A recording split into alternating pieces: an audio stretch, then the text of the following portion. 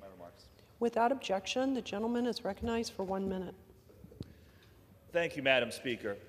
It's no wonder that Donald Trump doesn't want people to know that Project 2025 is his plan. It is cruel, unpopular, and out of touch with the needs of the American people.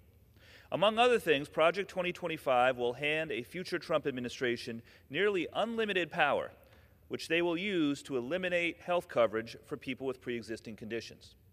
Do you remember what it used to be like when people would go to the doctor only to be denied health care because they had asthma or diabetes or cancer? And there were no caps to out of pocket costs, so a trip to the hospital meant that a family could lose everything. Donald Trump's Project 2025 plan calls for ending the Affordable Care Act and taking us back to the dark days when even people who had health insurance would be denied care simply because they had been sick or injured in the past. Even the $35 a month cap on insulin would end under Donald Trump's Project 2025 plan.